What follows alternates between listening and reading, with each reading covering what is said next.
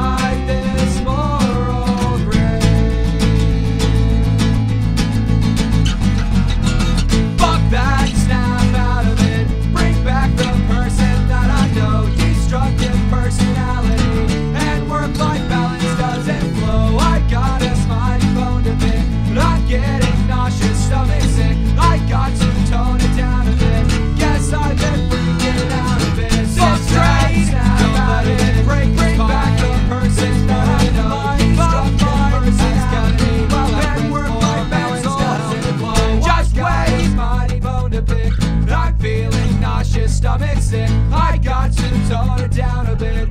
Guess I've been